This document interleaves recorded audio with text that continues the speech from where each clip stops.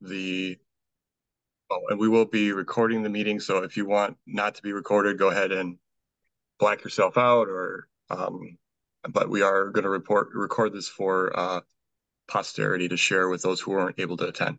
My name is Michael Timm. I am a writer and manager of the Milwaukee Water Stories program for the nonprofit Reflo.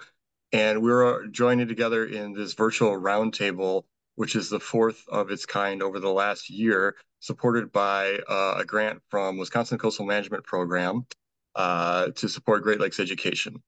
And uh, what the resource is is what I'll be spending about 15, 20 minutes describing to you all here. But if you aren't aware already, if you haven't uh, stumbled up upon the web page or seen any of the articles that have been printed to date or uh, the artwork that has been supported thus far, this is the um, website where we are anchoring all of the resource or the resources.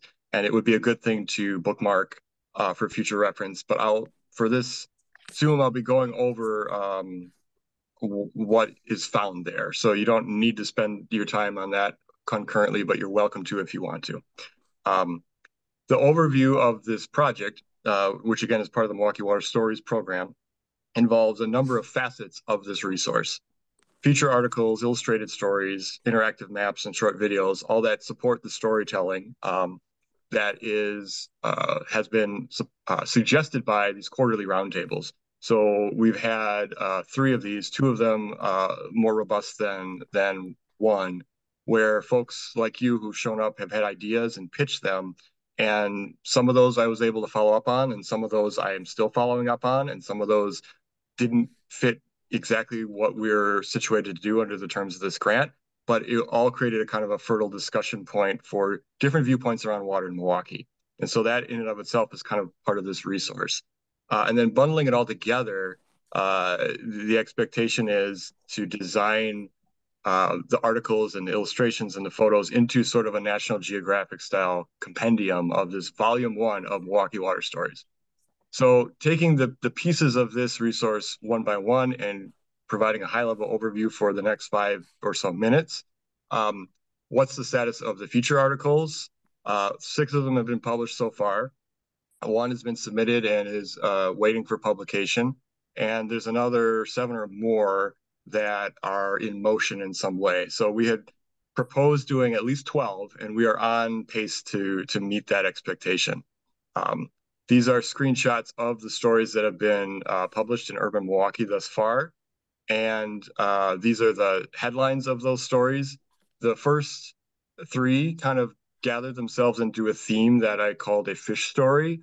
And the next three, as our illustrator Sarah Gail Luther can well attest, uh, by being involved in that storytelling process, we gathered under the bundle of like Too Salty. So they're independent stories. They live in and of themselves through Urban Milwaukee through links that you can find through our, our master link, but they also kind of had these larger arcs. Um, with the last 2.5 months of the story series, given all the energy and, and story ideas that have been submitted thus far, each of the articles coming forward may not fit nicely into those kind of three part arcs, but there's still a a lot of great work to, to be done. Uh, I will note that also at the first roundtable, it was suggested to use the water-centric city principles as a guiding lens for like how we would divide up the time of what kind of stories could be considered. And I've bolded the one the themes that uh, those first six stories have really touched on pretty well. Um, and the remaining themes are ones that are kind of emphasized for exploration in the next suite of stories, which again were supported by ideas that were shared at, at these roundtables, um, or through conversations that happen because of the, of the conversations at the roundtables. So this is sort of the, the near-term docket, near-term being two and a half months, not necessarily that tomorrow any of these are going to drop, they won't, but this is what I'm working on uh, on the writing side of things and then some of these were also um, packaging into illustrated support stories. So what, what have the illustrated stories look like to date? We've created two of them, working with two different very talented local illustrators. Um, and then there's another two that have been scoped, and I'm working with Sarah Gail Luther, who I'll give a little time to, to chat on, on some of the draft work here, which is also exciting um, shortly. But they're the two that have been created and are in the world that can be used or leveraged and adapted are um, one kind of in parallel with that fish story arc um, that looked at the implications of the Kletzsch dam fishway for increased fish passage and what that means for all of us and education and like the long-term story of the Milwaukee River and our relationship to it. Uh, Sydney Hoffman put that all into a really a nice uh, uh, booklet. And then Sarah worked to digest a number of the SEWRPC chloride impact reports that were suggested at the very first roundtable as, hey, we've got SEWRPC is writing hundreds and hundreds of pages of these technical reports. What can you do about doing an article about this? And we um, we thought about that and dug into those and did some independent research, and that led to um, kind of providing a digest. So this is a, an image pulled from that uh, I Am a River booklet to show those who aren't familiar an example of a page spread that kind of um, shows you how our National Geographic ethos is also working its way into the illustrated components. This is showing you cross sections of the Milwaukee River with a highlight to the Kletzsch Dam and the fishway as how important it is to allow fish passage upstream of the dam, but for an audience that may have never heard of Kletzsch Park. Uh, and then this is a, uh, a zoom in of the um, life and time of sodium chloride that Sarah and I worked on. And uh, we're looking just at one part of that document, but Sarah also created um, an annotated backside that gives us like, if we were to click on these things, like the highlight of the different stories of salt in our world and how that relates to water. I know I'm throwing a lot at you here, but I want to go through this slide and segue to Sarah to unmute and then say a few words because what's exciting is that in addition to the work that's been created to date, we're in progress on some really exciting work to support stories that are being researched currently. Um, and this is one of those that actually has a lot of relevance because we just had a water drop alert yesterday due to um, the the uh, extent of the rain that was causing challenges for the sewer system. So Sarah, I'd like to invite you to kind of say a few words about what we're looking at here and what your process has been to date. So thanks. Hi, everybody. Um, this is what you're looking at is one of probably about 10 pages of a small comic book about the story of Rapid Radicals, which is a company that's helping create like an interruption to the overflow system right now in Milwaukee to try to quickly clean any overflow water that goes into the rivers.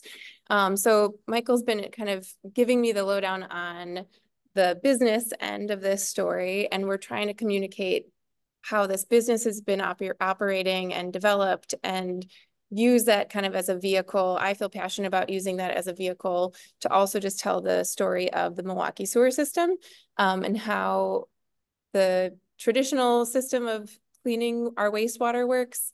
Um, so this is a page that kind of gives an overview of like a big overview of the sewer system, uh, the wastewater treatment plant as it exists today.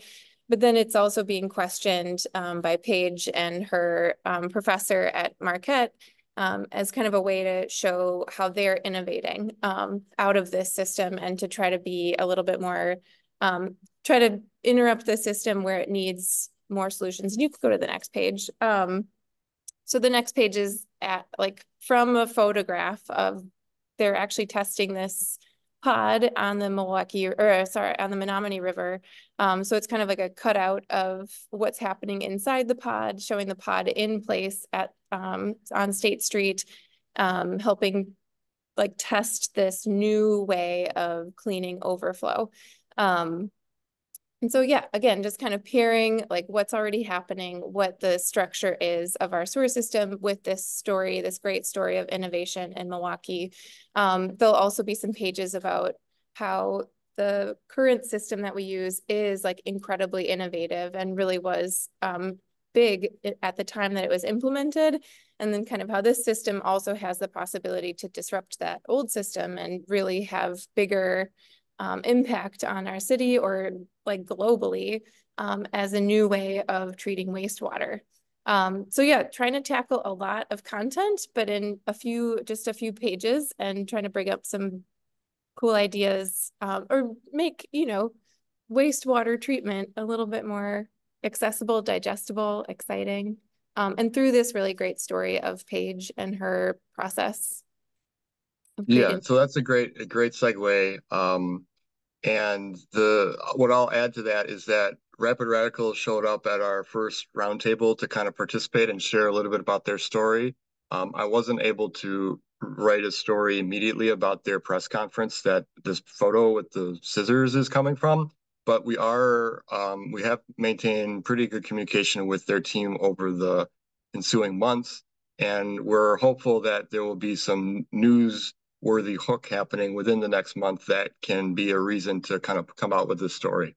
But as Sarah mentioned, and as this first slide kind of illustrates, and Sarah, this is really to Sarah's credit that she went above and beyond to kind of, hey, I want to diagram the sewer system. Like, okay, well, let's see how we can do that, put it into a context that also has a narrative. Um, so the, these are both stories that will be shareable to anyone, including young audiences, but also sort of visual assets that can be used to point out different parts of um, the systems and our relationship to them. So that's how we're approaching this uh, as a as a larger resource. Um, I want to speed through the next slides, but but do remind folks that the resource is even more than the words and the pictures. Um, the other way in which um, some of this content is accessed, and it's essentially the same quote unquote content, but it's accessed in a different mode, which is in, through interactive maps. And so part of the salt story, for example, is where does our salt come from? How much is it? Where does it go? And this is um, a simple interactive map that tunnels folks into different aspects of that story, but but showing how that's located on the Great Lakes. And then this is an example of a map that um, highlights the the fish passage situation on the Milwaukee River because you know we can focus on what's happening in Glendale and Kletzsch Park, but really there's a lot of other parts to that river that are important to fish. And while this is not comprehensive of everything, it gives us a sense of oh there's other interventions that have been happening over time. What are they? What what are the barriers? What have been overcome? And how do we connect down here in, in milwaukee to the milwaukee river which which is part of the milwaukee river watershed? So these interactive maps were part of our proposal the the videos i won't talk much on because we're kind of waiting until all the assets are in play to bundle those together into really short pieces uh, and they they may be kind of cool things but they are, have not been drafted yet, and so I don't have a lot of of collateral to share, except that all the collateral that's been developed from the other parts of the process will feed into these with the view of making very short pieces that can have a longer duration as this sort of public informational context. Um, what does that look like when you put it all together? Uh, it looks something like this, which is if you imagine like you've thrown your National Geographic at the wall and all the pages have come out. Um, as as we've been writing these articles, although in urban Milwaukee, it's great to get it out there to an audience because they have an audience and people read it and they comment on it and they think about it. Um, I'm I'm really pursuing this series as a whole, and so this this slide gives us an example of how the visuals integrate with the quantitative analysis, with the illustrated components and the stories and the maps to kind of really take a National Geographic approach to those water-centric city principles across different stories in Milwaukee. Um, and this is something that folks other than Reflo haven't really seen. So I can appreciate that it may be like, what is he talking about? But this is a taste of what we're talking about, and we're looking forward to sharing that PDF uh, in a couple months. So the other end of this resource is us. It's the people. It's the, I'm not sure how many folks are on this call. Is it um, sorry, I can't, uh, 21. Okay, it's the 21 of us who have come together to share 20 minutes, half hour to kind of think about these things. And I want to segue to the Reflo team because th they've put together a, a Jamboard, which is if you participated in the prior roundtables, we're going to do it a little differently today. In the prior ones we did, we invited folks to kind of have the floor and present and then have a feedback session. Uh, we'll see how this goes. It's always an experiment, but uh, it's been suggested, well, why don't we open it up to like everyone can kind of have the same space. Uh, and so I think in the chat, we are putting a Jamboard link. So I'm going to go ahead and click on that, but then I'll also, um, I'll continue to share my screen because I think that's probably still meaningful for those who aren't on the board. But if you want to go to your chat and then click on this link, it should let you into the shared space. And these are just like post-it notes, and you can do whatever you want on this page. You can't break anything. Um, but feel free to uh, suggest, hey, there's an event coming up. Do you want to go and cover it? Or hey, what about this theme? Or one up or or circle or draw arrows. You can do whatever Google lets you do on this page. Uh, I want to segue to Justin because Justin, you have more experience using the Jamboard. What's a good way to think about how we can engage with this space? Yeah, I think um, um, yeah, so it's like a, a digital uh, bulletin board. So maybe Michael, if you just show us on the left hand side how to how to click on a post-it note and just kind of walk us. Can I remove the the blue smiley face? Yeah, yeah, that you're always able to remove a smiley face, Justin. um, but if you if you just show us how to how to create a post-it note, if you if you click on this thing, it brings up for me a sticky note, and then if I hit save, it puts it there, and then if I click off of it, it's it's there. I put the blue ones there if folks wanted to use them. These are the yellow are ones that people had mentioned to me either in an email that they couldn't come or in an email or a conversation about events from past events. So that's what's here, not to and also in case we were slow to get started, the fact that there are other ideas that aren't encapsulated by the other stories. Um, but feel free to grab a post-it note, uh, click on it, and then if you double click on it, you should be able to say, um, you should be able to put it down, and then uh, and then I guess the idea is we can we can all see this here um, additively, and if um, if we wanted to do a different color, then we would see all the ones that are coming from today. Um, but it doesn't really matter. So.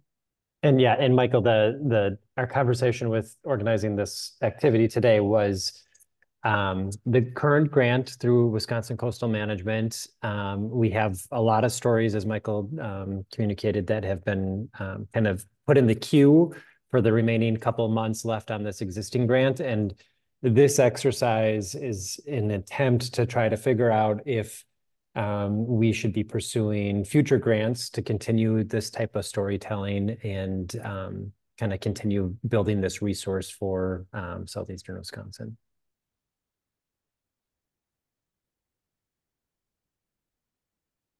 So I see the Fair and Future movement is doing some good work related to access locally. Um, that's awesome. Does anyone who shared that want to pipe up and share more about it? I can Google that, Fair and Future Movement. Hi, that was me. It's Teresa. Hi, Teresa. Um, I joined their, they're doing a book club, um, and they're having us read the uh, intersectional environmentalism book. Um, they're working on becoming a 50c3 nonprofit. Um, but they're doing a good job with sort of one-on-one in very small neighborhoods and houses, um, gathering people to talk about better access to better water in Milwaukee. Um, I know there's a lot of them, um, groups doing that. Uh, they have a good website and they do good outreach, especially through things like their book clubs and their um, their board to talk about intersectional environmentalism. Cool. And I, I was taken in a couple of different directions as you're talking. Could I remind you said you joined a book club to this extent? That's your direct contact with them right now? Uh, yes, and the Milwaukee Community Sailing Center is um, interested in being a partner with them. So, um, but I think let me grab their.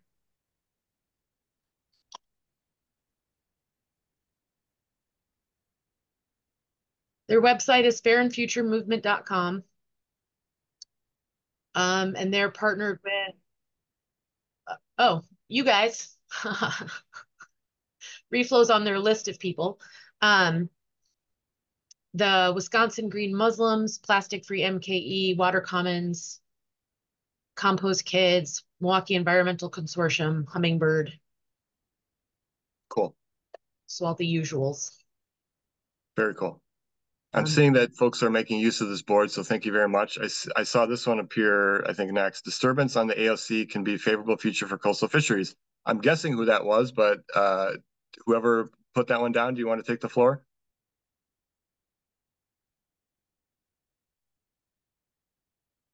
I'm guessing that might have been Dr. Cool, but that's okay, if it's, if it's unattributed, uh, I'm seeing that. Dr. as Cole, a you're muted right now. Uh, there we are. Yes, okay, I found it now. Uh, so, uh, what, what the idea is on this, uh, is that during last summer, there was an interesting, um, event, series of events that caused some substantial disturbance of sediments, uh, in the Milwaukee River, which led to a tremendous, um, increase in, uh, set of juicy steaks for the food web diatoms that we have never seen uh, here in coastal Wisconsin at any extent. And they were so abundant that they prevented the DNR from doing their fish assessment because they clogged the nets. And it turns out that when you look downstream and offshore of the harbor, that the recruitment of young of the year and uh, forage fish was really good last year, which was associated with a big change in the uh, plankton composition of the harbor and the near shore. Very cool and very succinctly put. Thank you very much. I think that is that is cool, and I would like to do something on this. And it's from my perspective, it's a function of time and timing. But I, I appreciate you bringing that up because I think it's underappreciated, and I think it's one of these things that we use the word intersectional with the last post-it note, but this is a different kind of intersectional between you know different projects and different systems. So very cool. I'm seeing a lot of post-it notes pop up, so I'm trying to figure out the best way to prioritize new speakers. Um, Humans of the Harbor, someone put. I see. I'm acknowledging that one. Does whoever put that one to talk about that? That was me. I um the the the series if folks have seen it, Humans of New York, um, kind of like a human interest um piece, but of Milwaukee and the harbor, and uh, it would I think would be interesting to see all the different uh, folks that might be engaging with in and around the the harbor, um, Milwaukee um, Community Sailing Center. Um, it would just be interesting to just see the people that are kind of down and by the river and by the waterways. Sarah, you want to uh, mention some of the work that you're planning to do for, uh, it was suggested by Maddie uh, at the last roundtable that an interest in local fishing. And we haven't gotten too far into that, but I have made some inquiries and uh, Jenny, um, Jenny Tass at Menomonee Valley Partners connected with me, connected me with uh, Zach uh, at DNR, who was sharing some resources about fishing. Um, and then different people had suggested different folks to that we'll hopefully interact with just by going down to the harbor to talk to them. Sarah, I know you were interested in in doing that work, and we also I also had an email recently from Dave at Friends of Lakeshore State uh, Park uh, connecting me to Great Lakes um, fishermen um, or sports sports fishermen, sports fishers, and uh, I don't know, Sarah, if you want to mention Yeah, um, we're just excited to um have the chance to just I I mean my plan for the spring is to just go out and start chatting with people who are doing um like some shoreline fishing and do some interviews and portraiture and kind of make almost like little baseball cards style um stamps of each of them. So it's like a little bit of like statistics and a little bit of why they're there. Um, but then also include like a nice portrait and some drawings of the environment, um, just to collect like kind of an overview of who is using all of the different Milwaukee rivers or lakes for fishing. Um, and but I, I've had the uh, like opportunity to speak with Joe, who's a grad student who did a report on shoreline fishing. So I feel like my brain is there, but I feel like there are these opportunities for other people like using the harbor in a different way or um, fishing from a boat or commercial fishing. Um, so yeah, there's a lot of opportunity there to just kind of use art as a tool to tell those stories. Thank you. Someone has mentioned, can we do a story in native Oj language, Ojibwe? Uh, whoever posted that one, do you want to chime in? Hi, this is Carmen Aguilar. How are you?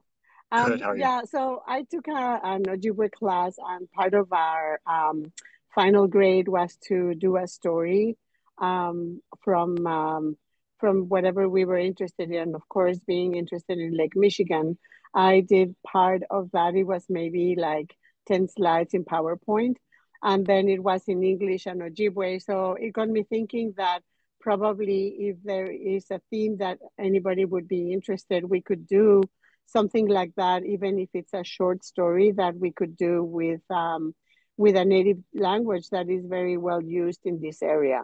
And uh, so that was my idea.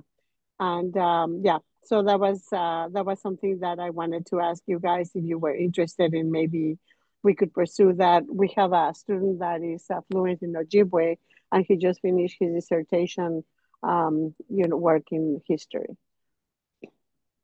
I'd definitely be interested in that. Justin, did you want to mention the conversation that we were having recently um, with um, uh, Indian Community School and also um, some other uh, Indigenous leaders uh, about looking ahead? Could there be ways to engage young people with um, with uh, native water storytelling? So I think that fits a lot with that, Carmen. So if if there's a way to, to yeah. do that in the short term as like a to demonstrate what's possible. So I don't speak Yeah. or write Ojibwe, but like it- your student sounds like it'd be the perfect mix of Yeah, he would be really good. So who would be who was the person that you mentioned that was interested in the native stories?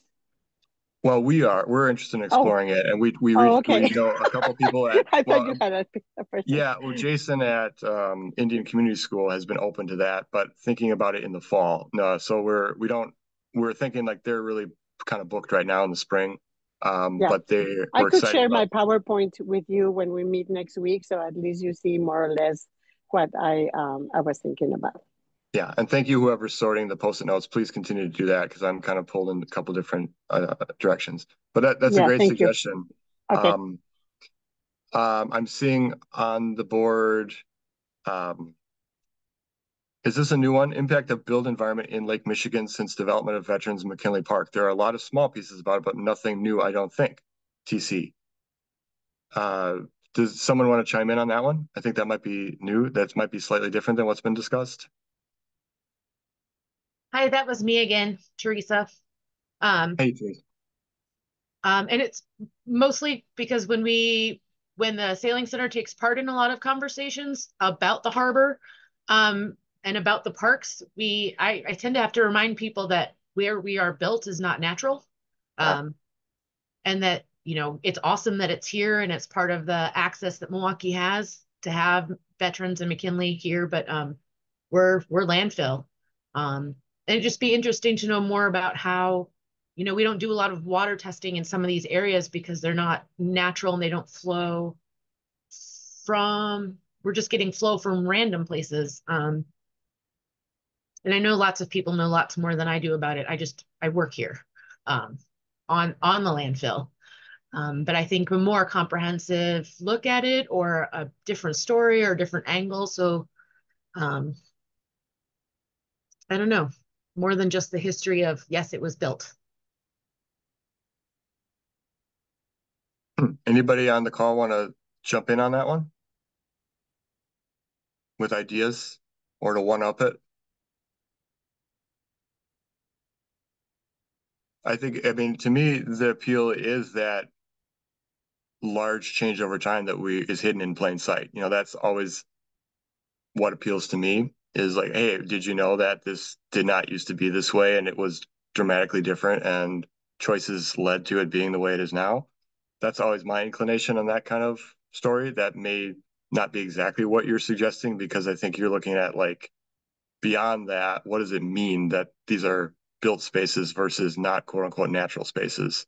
Um, maybe that's like urban planning people um, and and maybe some of the people who um, work for environmental contractors who have to do the testing that shows you how the sediment is is different or is the same in different sediment cores. Is it that's kind of where you're thinking teresa?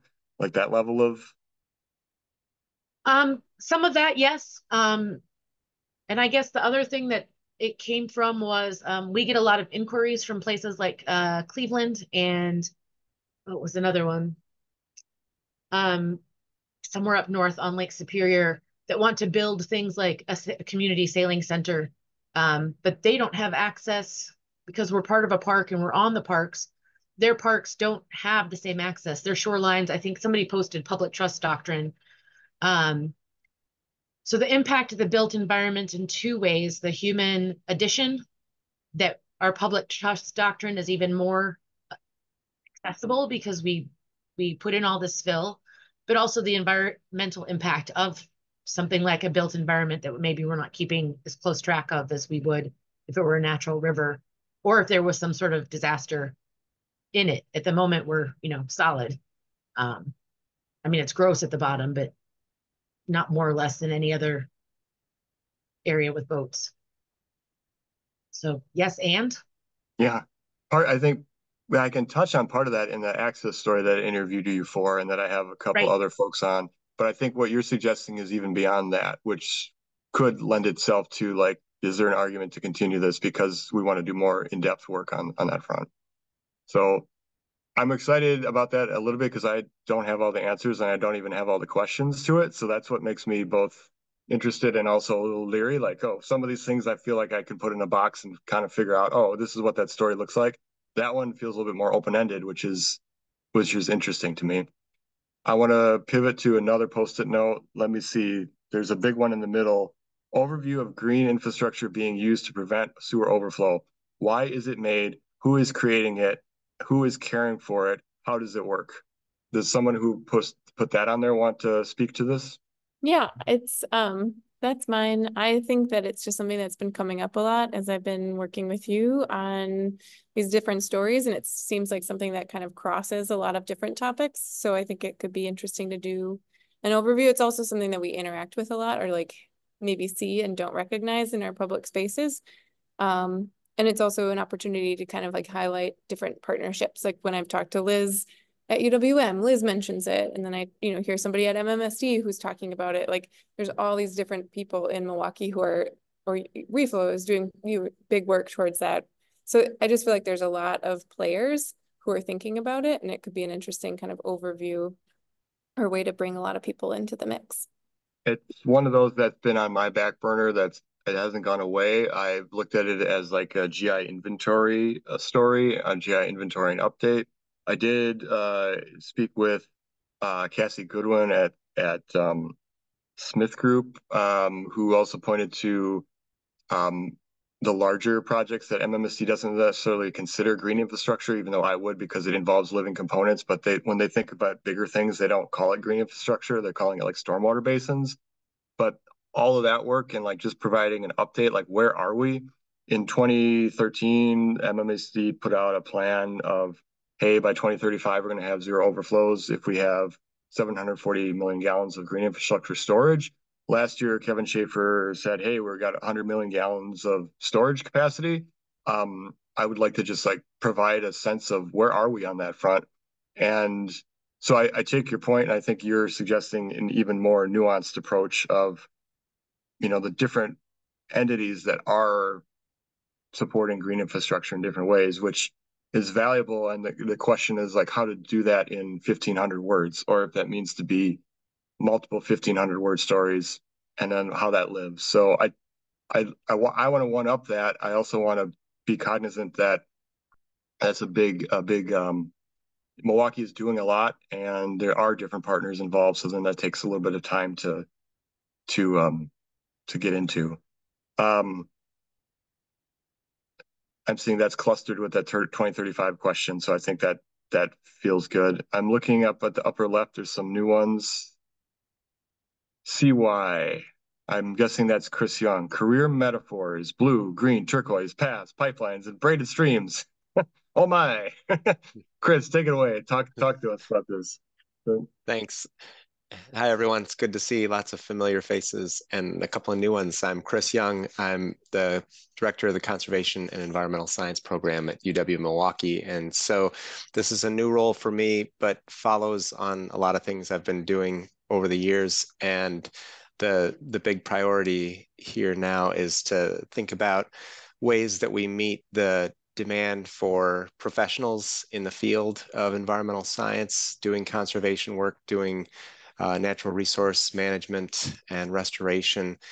And uh, you know, I'm just perplexed on both sides with the the employers and programs that are out there who are looking for qualified people and know that this takes uh, a lot of scientific expertise and also a lot of community engagement skill and and passion for the work. And on the other side i'm seeing students and young people wanting to get into the field and trying to figure out their best path and you know just seeing all kinds of possibilities going from one to the other but also lots and lots of obstacles especially uh, in our in our community where education is so beset by the the kinds of challenges that that we face in in lots of different institutions. So, um, but but I know a lot of the organizations many of you work with have been kind of doing the the STEM education route and have been thinking about ways of training up the next generation. And um, sometimes these metaphors get used and mixed. And um, I'm wondering, you know, what are the what are the stories that show the real uh, positive flow through the system that really show us where students can enter in lots of different places and emerge with the right credentials, qualifications, professional experiences to, to get them entry level jobs and to keep them in the field throughout their career.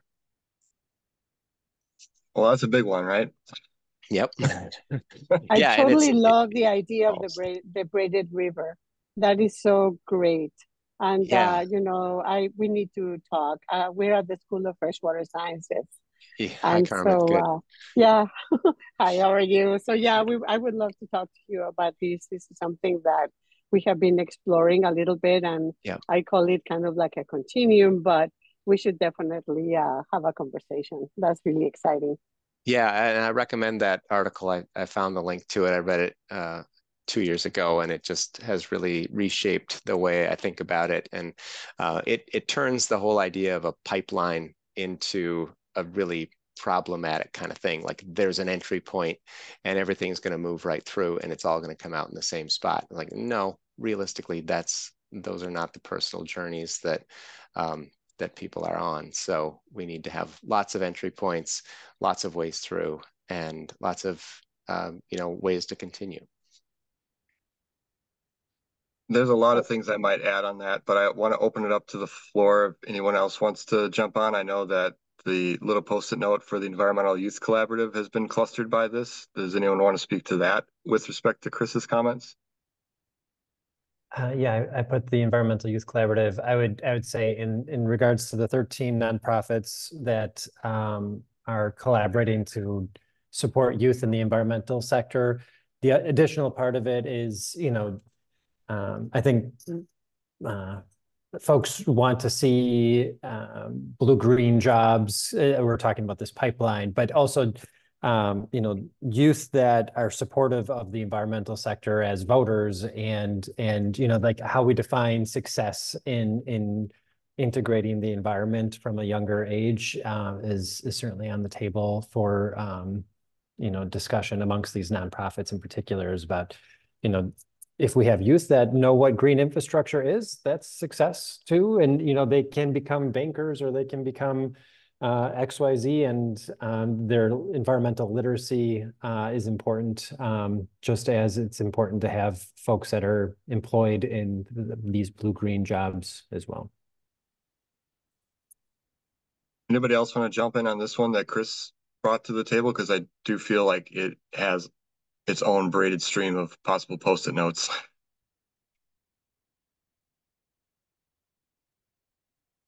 mean, I would say at the Sailing Center, one of the reasons why we use STEM um, is because it's the easiest way to get into the schools.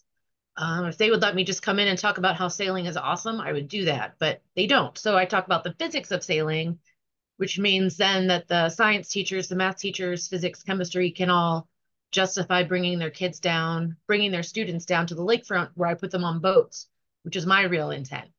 Um, you know, we talk about maritime jobs if anybody asks us. The examples I use are, you know, sails are built in, in Wisconsin, boats are built in Wisconsin. We have people who are in the Olympics from Wisconsin who are sailing. Um, but I, I use the career metaphors to get me in the schools um, because we're trying to get we're trying to get kids on the water. So I mean that's a whole true confessions, I guess, of a nonprofit. Um, you know, I know English, so sometimes I just have to Google, you know, how smart at physics do I have to be than an eighth grader the day before I go into middle school and, you know, do my best. Um, and I would love to be able to do more that's actually meaningful because we're not going to get lots of kids. Nobody's making a career in sailing out of Milwaukee. I mean, there's like 10 of us. Um, so what can we do better to make it more meaningful and still get kids on boats? So it depends on what the nonprofits are also trying to do, I guess.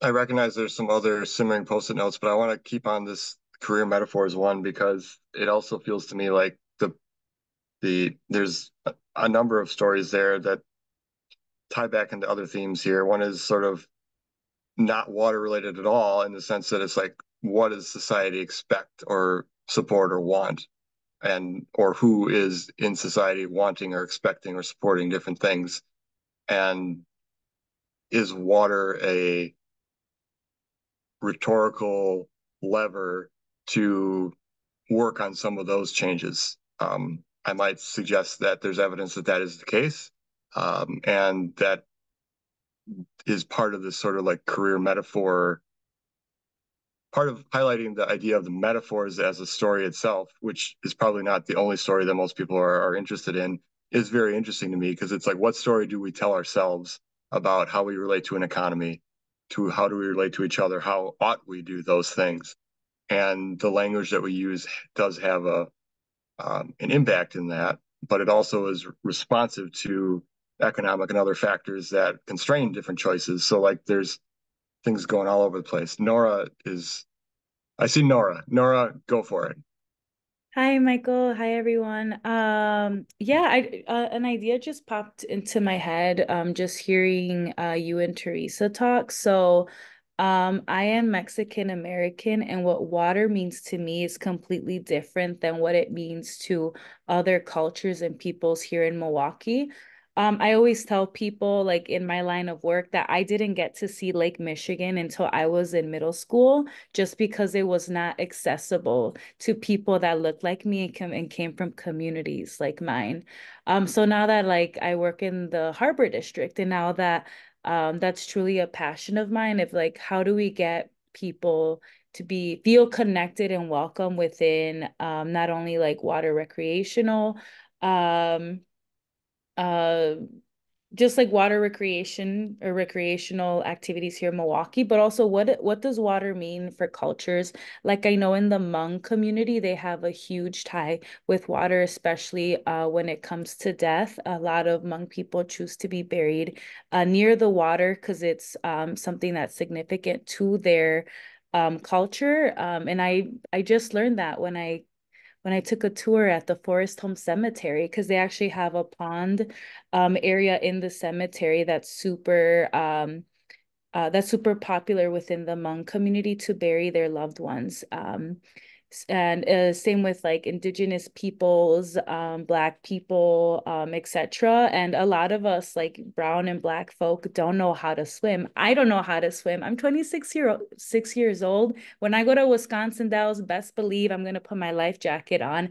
And it's kind of embarrassing like everyone i'm over there with like five year olds with like my life jacket but in my culture like that's not seen as important versus in other cultures people put their babies that are like a few months old like in swimming classes and i'm like how do you do that? Just like uh, yeah. So i think that would be really cool a story on like what does water mean for different cultures um and how does that relate to the bigger picture of being milwaukee you know? So like water in milwaukee or something like that i think that would be really cool. Going back to what you said justin about like lives in the um or i don't know what your post-it note said um I, I don't know where it is but um, yeah, like just water means different things to people here in Milwaukee. And I think a lot of nonprofits going to Teresa's point, um, we have a lot of work to do when it comes to aligning that because we have very similar missions, but how we are able to work together to actually accomplish that um,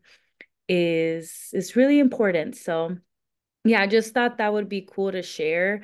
Um, because I think that's like a fun way to also uh, get other voices and communities in Milwaukee feel seen when it comes to uh, water. Very cool. At least part of that, I think, can fit with this access equity story that I would like to get out in the next couple months, and then maybe that it deserves more. excuse me, deserves more um, than even that one story can do. Um, I'd love I'd love to chat with you maybe more about this, or even have your permission to use your comments here as supportive in, of that story, because I'm learning things from what you're talking about in terms of what you've learned at Forest Home Cemetery and and just your personal story wearing the life jacket, which I think is one of those ways in. You know, if someone shares that kind of story, it opens up other conversations to this is a this is a particular person who is sharing the story. So I I see that as two things. One, I'd like to use it for fuel for the thing that I think will be written in the next two months. And second, I think we can do more with that. So I appreciate that. I see a raised hand. Uh, Dr. Cuhel.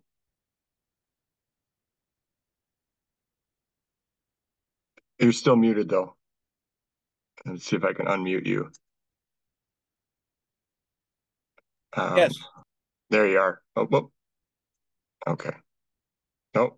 You're muted again.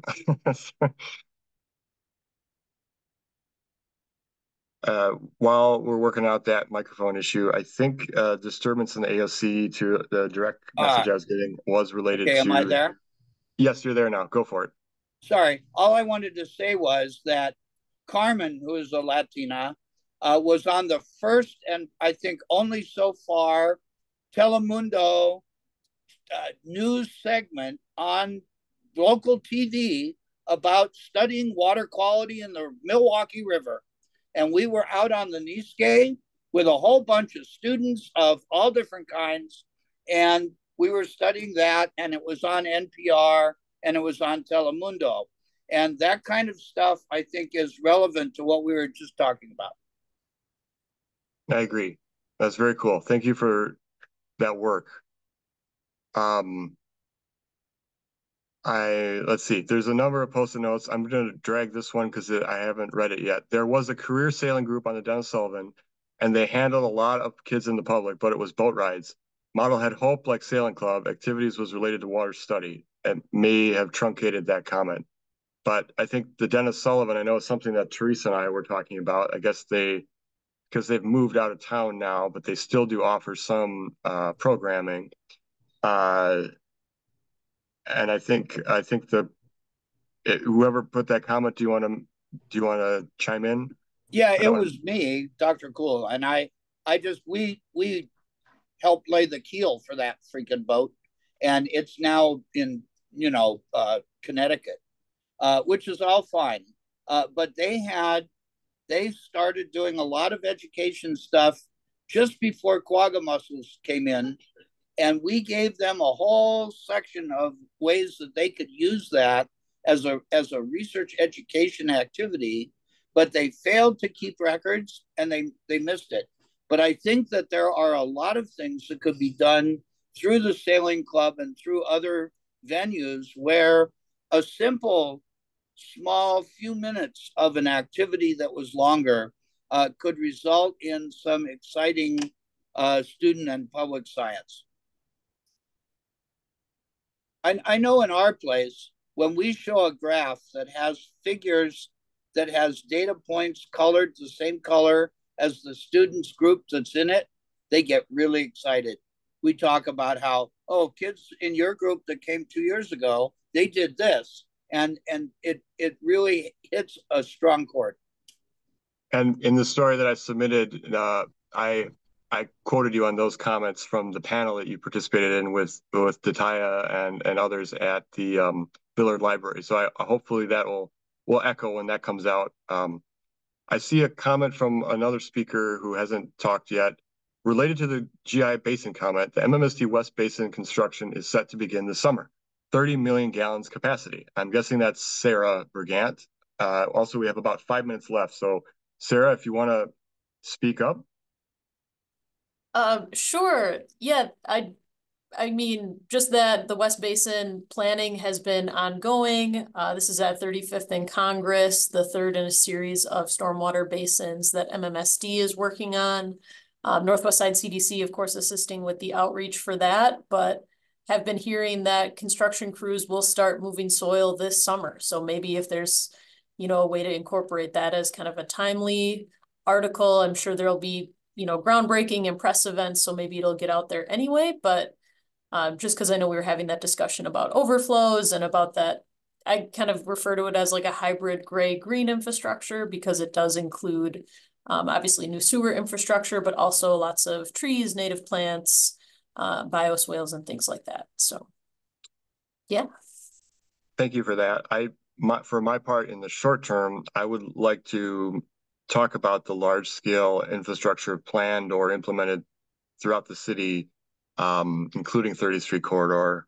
Um, and then I think the timing may not quite be right for covering the actual construction, but I think when there is another um, public point to anchor to, as you suggest, that's it's always a good thing. And I'll just from a personal professional perspective, I'll continue to reiterate that I really feel there could be value in inviting people to try to name that space. Um, I know that's not necessarily my purview as someone writing about stuff, but um, as as a member of this conversation, I think West Basin means something to some people, but doesn't mean anything to most of us. And it would be really exciting to name that space or to have people participate in naming it. So I'll, I know I've said that before, but I wanted to put that on the record here. Um, yeah, ab absolutely. Good, good point. And yes, I mean, we we definitely hear that. I don't think West Basin will stick long term, but there's still, yeah, quite a bit to do as far as um, kind of that branding of what the future kind of park space, the trail space, all of that in the corridor. So just not quite at that moment in time, but your comment is heard. Cool. Thank you. Um, I'm this is more than a more like a comment than a, a story idea, I believe. Amusing how little restoration and related interests actually interact with active empirical scientists who study our local ecosystems. Um, if we could have brief comment on that, um, is that Doctor? Is that you, Doctor Cuhel, or is that someone yeah, else? Yeah, it is. It's it's just something that raises the hair on the back of my neck when I see a lot of uh, rhetoric that is not always substantially based in fact. When the facts are right downstairs. Okay, I mean we have we have several agencies here that do a lot of public outreach, so to speak, and uh, it's it's amusing how they have never come and talked to us. And our area is littered with posters about scientific measurements and the concepts, and it's not all psychobabble, and it's in the hall, and anybody can see it. So I just, it's amusing. That's all. But I do want to say the thing about winter, and that is just in one sentence. This is the first time in the 30 years I've been here that the big Lakers never pulled into the harbor. Okay and there has been no ice. And we've done a whole bunch of radio and TV stuff on it, but I think it's not going to be the last time. I want to recognize Yvonne, who has her hand up.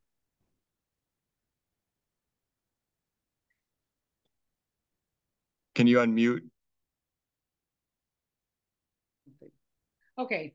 Um, just very briefly, I wanted to add to Sarah Brigant's comments about the West Basin it goes further than the West Basin. It actually is the corridor uh, inclusive. There are other uh, projects along the corridor.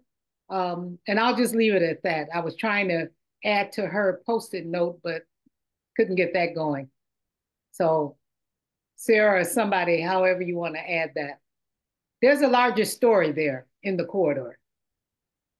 And we can have that conversation later. That sounds good. And I'm. Thank you, Yvonne. Absolutely. I appreciate the comment. Indeed. Yes. yes. Have I missed any post-it notes that anyone who is present would like to speak to? Yes, the If so- phytoplankton one. Phytoplankton one. It's a green one. Um, I called it, uh, trying to be cute and called it Let's Talk Phytoplankton. Okay. And the reason I put that is that um, as we get nutrients, and as you know, we're going to be uh, studying some of these things, a, a lot of the people don't really quite understand why phytoplankton is important and it's kind of like the plants of the of the water. And so I just wanted to uh, educate people, and that's something we have been talking about. Uh, how, uh, if we talk about algal blooms, for example, the one we had last summer was a very benign one because it was diatoms, and not all blooms, when we say, oh, there's a lot of density, uh, are noxious or toxic. So, kind of like for people to embrace that the phytoplankton and the zooplankton and the fish in there are super important in that kind of stuff. Very cool. Thank you. I'm sorry that I missed that. I was grouping that No, in that's okay. The, I, okay. and that, that feels to me like the, the big takeaway here is it does feel like there's vitality to look for support to continue this kind of work because of the energy shared in this call. It does feel like there's a number of topics that could be explored to greater depth and that there's interest in potential partners in supporting those stories. And it does feel like there's more that needs to be done to um, to either tell or explore or expose some of these stories. So I'm I'm sensing that there is energy here um, at a high level. Um, I haven't been able to keep up in all the chat, so I apologize if I'm missing direct commentary. Anyone else have a comment to make for a story idea or event that you would like to plug? Recognizing we have one minute till 4:30, so folks need to head out. Feel free to do so.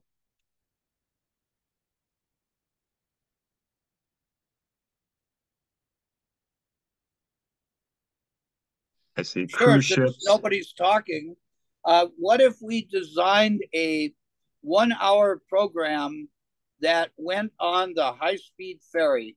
Uh, I've already got them to agree that they would give us the screens with no sound for one hour in the middle of their two and a half hour trip. And we have videos of the bottom, and we have a lot of science of the water columns and, and climate in Lake Michigan. We could have a quiet show that was really fun for people, but that uh, would get at a lot of people. That's interesting. It's a very specific audience. Um, I'd be game to discuss that. I know we're chatting next week. Maybe that's uh, on our on our agenda. Um, and I, I've only been on the ferry once, but I know what you're talking about. Like in that big open area, it's like you're sitting in a bus terminal and the screens are on. So why not use that to our advantage, right? Teresa loves it. there you go. Maybe maybe that's uh maybe that could get support by uh, a lot of the or a number of the NGOs who have some kind of stake in the game as well to kind of rotate through, kind of like your in-flight magazine. You know, it's like the equivalent of an in-flight magazine, but for the ferry. Um, right. Thank you for that. That's a cool suggestion. Have I missed anyone else's uh, notes that you would like to say we're over time? So I want to respect folks' time for the formal event. Just to note, uh, there are several events. There's a kind of a column there of post-it notes with uh, several upcoming events uh, that folks added there.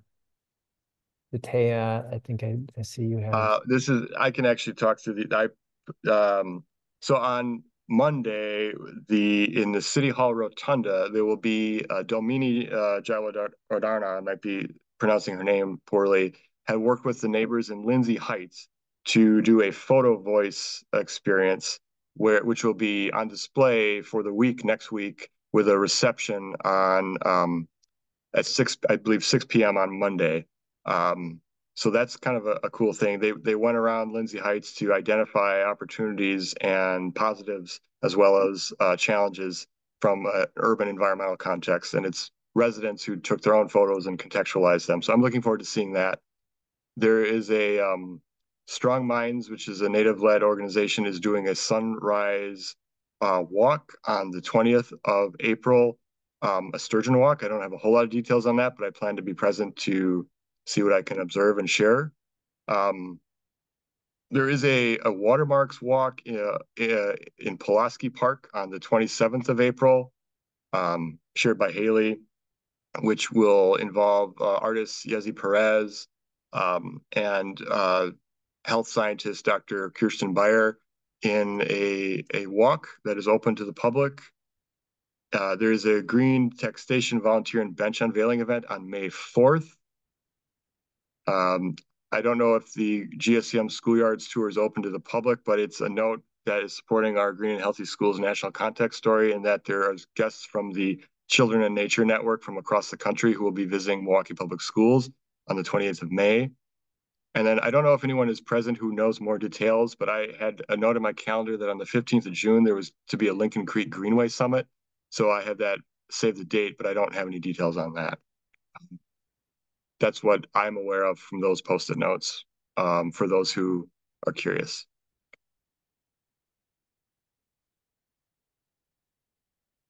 I'd like to uh, thank everyone for coming. I'd like to remain present for anyone who wants to follow up with me briefly after this session, but I want to kind of bang the gavel and let folks go because we're after 4.30 out of respect of your time.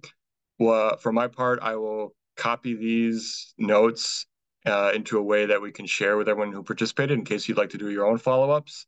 And then I will use these um, to see what I can look into over the next coming weeks and months.